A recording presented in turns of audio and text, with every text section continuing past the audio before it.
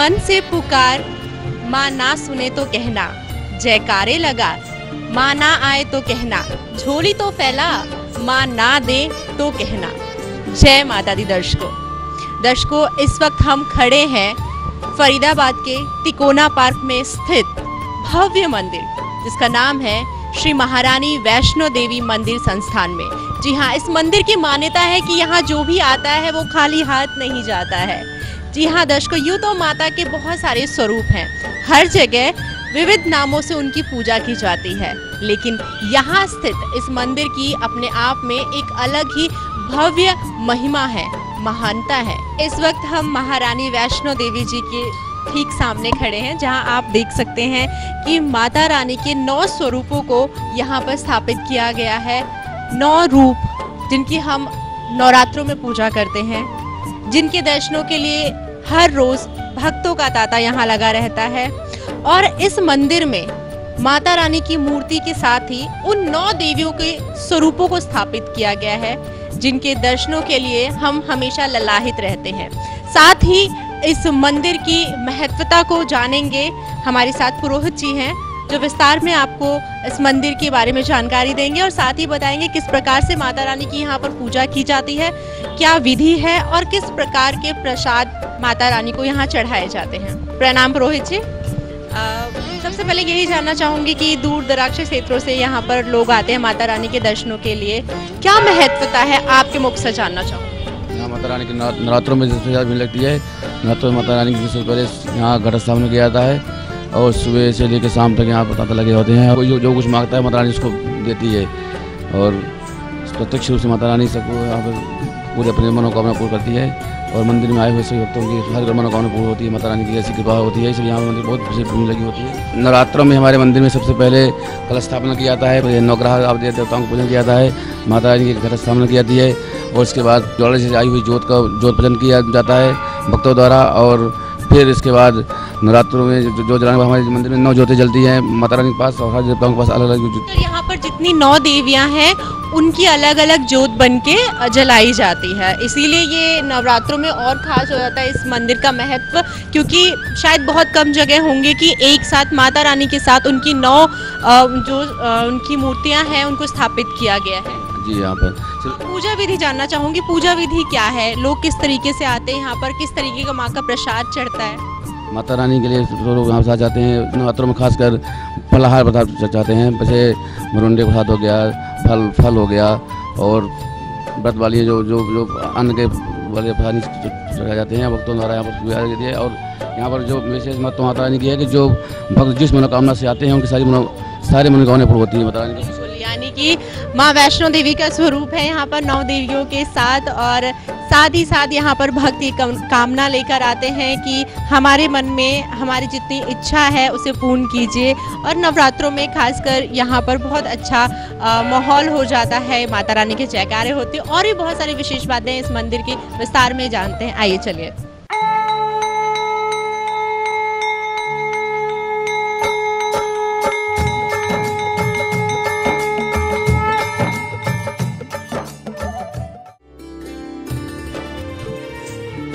माँ की महिमा कोई न जाने, जो जन जाने, सो सुख पावे। माँ के बखान हम लगातार करते जा रहे हैं और इस पावन मंदिर, पावन स्थल के बारे में हम लगातार आपको जानकारी देते आ रहे हैं। विशेषकर जानकारी देने के लिए कि कैसे यहाँ पर इतनी धूमधाम है, कैसे ये जग ज़ाहिर हुआ, कैसे इस पावन मंदिर की महिमा लोगों ने जानी। इसके बारे में आपको विस्तार से जानकारी देने के लिए हमारे साथ उपस्थित हैं श्री जगदीश भाटिया जी, जो इस मंदिर के प्रधान हैं। आइए, उनसे जानते हैं इस मंदिर की भव्यता, विशेषता के बारे में। जी, नमस्कार प्रधान जी। जय माता दी। सबसे पहले तो यही जानना चाहूँगी कि आप कब से इस मंदिर के प्रधान हैं, ताकि हमारे दर्शकों को क्लियर हो जाए और वो जान पाए कि जो जानकारी आप दे रहे हैं, उन तक जो पह- पहुँचा रहे हैं, वो कितनी अद्भुत है। श्री महारानी वैष्णो देवी मंदिर में आप लोगों का आने का धन्यवाद करता हूँ, स्वागत करता हूँ। इसके साथ साथ महारानी की सेवा मुझे प्रधान सेवक के नाते आज से लगभग 12 साल पहले मिली थी। जो महारानी की सेवा आज तक चल रही है और महारानी की कृपा है मेरे पर ये। इसके साथ साथ ये मंदिर हमने नहीं बनाया हमारे पूर्वजों ने बनाया है बुज़ुर्गों ने बनाया है जिसमें अभी तक हमारे जो बुज़ुर्ग हैं उसमें दो तीन अभी जीवित हैं यहाँ पर। कितने साल पुरानी बात है ये? ये मंदिर पचपन साठ साल पहले बना था ये। आपके पूर्वजों ने बनाया था? मेरे पूर्वज नहीं मगर हमारे जो पूर्वज बुज़ुर्ग थे यहाँ पर उन्होंने बनाया था। यहाँ पर एक ऐसा हुआ था अद्भुत, चमत्कार हुआ था। यहाँ पर एक कुआँ होता था पीछे। उस कुएँ के अंदर एक बच्चा गिरा था, उन दिनों में। तो लोगों ने क्या किया, बच्चे को निकाला तकरीबन कोई आठ घंटे बाद। आठ घंटे बाद बच्चा बिल्कुल सही सलामत निकला, जो आज भी वो जीवित है आदमी। उस बच्चे ने बोला कि मेरे को अंदर एक दिव्य स्वरूप, लाल कपड़े बैठी थी, जिसने मेरे को गोदी में ले रखा था। उसके बाद बुज़ुर्गों ने वहाँ पर एक मूर्ति रख के और उसका मंदिर बनाना शुरू किया था। वो अभी तक जीवित है। हाँ जी वो भी जीवित है। तो तब से ये मंदिर की महिमा चलती आ रही है। उसके बाद फिर बुज़ुर्गों ने क्या किया एक एक ईट इकट्ठी करी एक एक इकट्ठी करके ईट मंदिर बनाया। उसके बाद लोगों के घरों में जाके चौकी करते थे जागरण करते थे जो पैसा आता तो मंदिर में लगाते थे। वही चीज़ें सब चलती रही। इसके बाद महारानी के मंदिर में लोगों का आना जाना शुरू हुआ लगभग पचपन साठ साल पहले जिसमें एक एक ईट रख के इन्होंने मंदिर के निर्माण किया। ये जो मूर्ति महारानी की स्थापित हुई थी बाद में, आज से करीबन लगभग 25-30 साल पहले, एक मुस्लिम परिवार ने ये मूर्ति स्थापित की थी। मूर्ति वो खुद लेके आए थे, उस टाइम फंटा कंपनी एक होती थी, जो मेरे को बुज़ुर्गों ने बताया। वो, उन्होंने ये मूर्ति ला के हमारे को स्थापित करके दी थी। इसके साथ साथ अब महारानी की महिमा इतनी है कि बाहर विदेशों से लोग आते हैं, बॉम्बे से आते हैं, कई कलाकार आए हैं, जैसे श्वेता तिवारी है, और दारा दारा सिंह है कई कलाकार यहाँ आते हैं अपनी मनोकामना मान के जाते हैं और आ, आके फिर मनोकामना पूरी होने वो मनोकामना उतारने भी आते हैं ये। इसके साथ साथ यहाँ पर एक पीपल का पेड़ और बड़ का पेड़ है जिसमें नवरात्रों के अंदर वहाँ पर लोग चुन्नी बाँध के जाते हैं धागा बाँध के जाते हैं। अगले नवरात्र पूरा होने से पहले उनकी मन्नत पूरी होती है वो यहाँ चुन्नी खोल के जाते हैं और चुन्नी उतार के जाते हैं। इसके साथ साथ नवरात्रों के अंदर इसमें हम नौ जोतों का यहाँ पर प्रकाश करते हैं जो ज्वाला जी से जोत लाई जाती है उससे नौ जोतें जलाई जाती हैं। नौ जोतें, अखंड जोत जलती है, चौबीस घंटे चलती है। महारानी के स्वरूप के ऊपर जो मुकुट है, नवरात्रों में सोने का, वो छत्र सोने का लगाया जाता है। नवरात्रों के बाद हम उसको उतार कर लॉकर में रखवाते हैं। आज भी इस मंदिर की इतनी मान्यता है कि लोगों का ये है कि नवरात्रों में हम आए और अपनी मनोकामना, यहाँ कोई महारानी के आगे अरदास करें, या अपनी मनोकामना मान के जाएँ। वो मनोकामना, उनकी नवरात्र अगला पूरा नहीं होनी थी उसे पहले मन्नत पूरी हो जाती है। इसके साथ साथ हमारे मंदिर के अंदर ऊपर एक लंगर हाल बनाया गया है, जो नवरात्रों में रात को तकरीबन आठ बजे के बाद भंडारा होता है, जिसमें गरीब आदमी तकरीबन लगभग ना हो पच्चीस से तीस हज़ार आदमी रोज भंडारा खा के जाते हैं। सुबह से लेकर रात तक यहाँ चौकी जागरण चलते रहते हैं। महारानी की महिमा होती रहती है, भगत कुछ लोग आते हैं, अपने आप भी भजन कर- कीर्तन करते हैं। उसके साथ लोग जो चौकी बुक करा रखी होती है, चार से सात, दो से चार, सुबह आठ से दस और रात को दस बजे के, आठ बजे के बाद जो आरती के बाद चौकी होती है, वो चौकी में लोग आज परिवार अपने बुक करा के जाते हैं और लोग चौकी करते हैं। एक और बताऊँ आपको, जो हमारी आरती होती है शाम को, नवरात्रों के अंदर, वो बड़ी भव्य आरती होती है, बड़ी जोत होती है, उसमें उससे आरती की जाती है। सात बजे पहले भजन कीर्तन होता है उसके बाद एक घंटा आरती लगता है हमारा। हज़ारों, लाखों लाखों आदमी यहाँ पर खड़े होते हैं लाइनों में और लाइनें लगने के बाद हमारे सेवादार उनको पंक्तियों के ज़रूर करीबन ढाई तीन घंटे बाद नंबर आता है और आरती अपना में भाग लेते हैं। हमें सबसे बड़ा मंदिर का एक जो हमें सहयोग मिलता है, हमारे सेवादार हैं, मेरे कमेटी के सदस्य हैं, कम्प्लेक्स के सदस्य हैं, पुलिस प्रशासन है, इनका सबका सहयोग इस मंदिर को मिलता है और महारानी इन पर कृपा भी करती है। मंदिर हमारा सुबह, वैसे नवरात्रों में तो 24 घंटे खुला होता है। मगर डेली मंदिर साढ़े चार बजे खुलता है, पाँच बजे सुबह आरती होती है। उसके बाद ये हवन कुंड है हमारा महारानी का। इसमें हवन कुंड में डेली हवन होता है। और इसके साथ साथ शाम को साढ़े सात बजे आरती होती है। नवरात्रों के बाद टाइम चेंज हो जाएगा, सात बजे का टाइम हो जाएगा। उसके बाद भंडारा होता है, भोग लगता है महारानी का सुबह शाम। इसके साथ जो जो है ना, महारानी के जो नौ स्वरूप होते हैं, जो जो नौ स्वरूप की उनकी नौ जोतें जलती हैं। वो अखंड जोत नवरात्रों में 24 घंटे चलती है हमारे यहाँ। और स्पेशल हमारे सेवादार ज्वाला जी से जोत लेके आते हैं, वो जोत जलाते हैं। अष्टमी वाले दिन रात को यहाँ जागरण होता है। नवमी वाले दिन सुबह आठ बजे से लेके दस बजे तक, ग्यारह बजे तक महारानी का, दुर्गा सप्तशती का हवन होता है पूरा। हवन के बाद चौकी, आरती होती है। आरती के बाद भंडारा होता है। नवरात्रों में नवमी के शाम को भंडारा खत्म होने के बाद, उसके बाद महारानी का मंदिर हम बंद करते हैं रात को दस बजे। मैं जगदीश भाटिया, जय पारस के जितने भी सेवादार हैं, जितने भी लोग दर्शक हैं, मैं उन सबको मंदिर में आमंत्रित करता हूँ।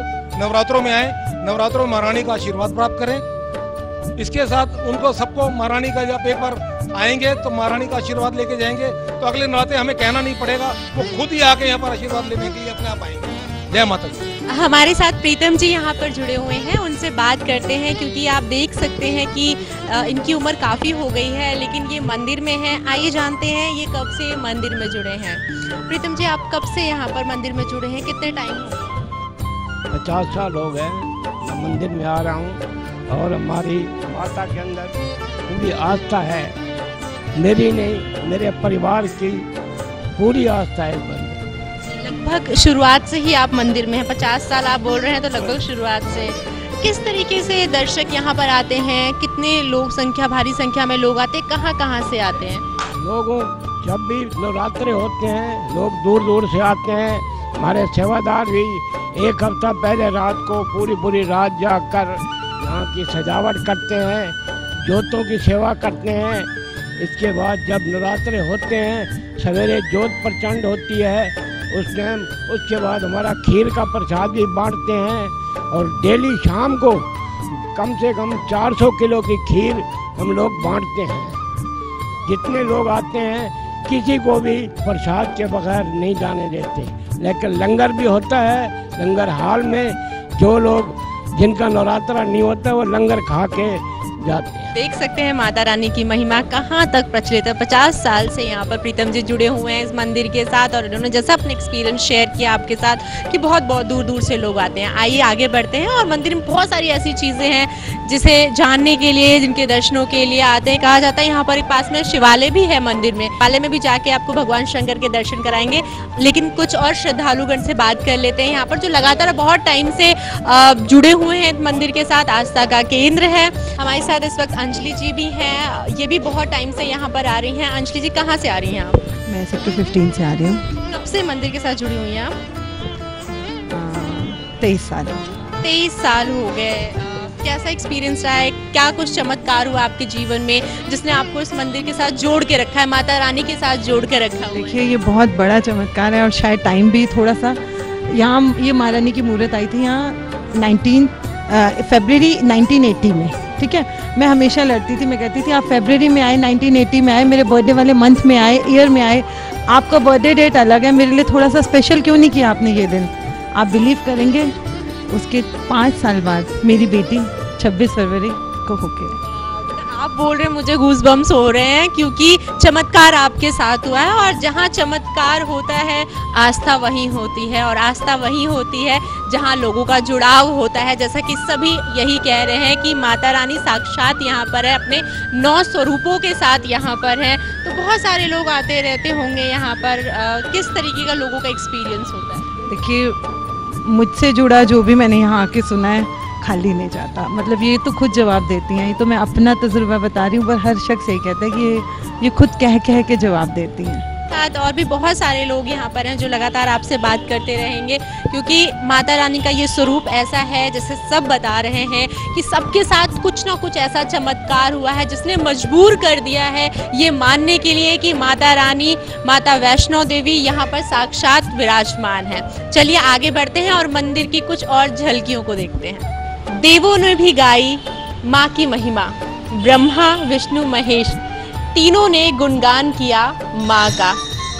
दूर होते हैं सभी कष्ट, जिस जिसने ध्यान किया माँ का। जी हाँ इस वक्त हम मंदिर के शिवालय में हैं, जहाँ पर भोलेनाथ की मूर्ति है। साथ ही शिवलिंग के साथ पूरा परिवार है उनका। कहते हैं, इस मंदिर में जो भी आया है, खाली हाथ नहीं गया है। नवरात्रे हो या आम दिन हो, भीड़ हमेशा से यहाँ पर रहती है। तो इस बार आप भी आइए, माता रानी के दर्शन कीजिए और साथ ही माता के दिए हुए प्रसाद को ग्रहण कीजिए। आपके जीवन में खुशियाँ ही खुशियाँ आएँगी। तमाम प्रकार के दुख दूर हो जाएँगे। जीवन में एक ऐसा ठहराव आएगा जिसकी सोच आप कई समय से कर रहे थे, लेकिन मिल नहीं पा रहा था। यहाँ एक बार आइए, क्योंकि ये मैं नहीं कह रही। ये यहाँ पर आए हुए दर्शक कह रहे हैं, श्रद्धालु कह रहे हैं। जो लोग यहाँ पर आए हैं, उनके जीवन में चमत्कार हुए, ये वास्तव है। सबने उदाहरण के ज़रिए हमें बताया है। तो इस बार आप भी आइए यहाँ पे। इसी के साथ, आज की इस यात्रा में बस इतना ही। पुनः आपसे मुलाकात होगी देवी माँ के एक और स्वरूप के साथ। तब तक के लिए जय माता दी।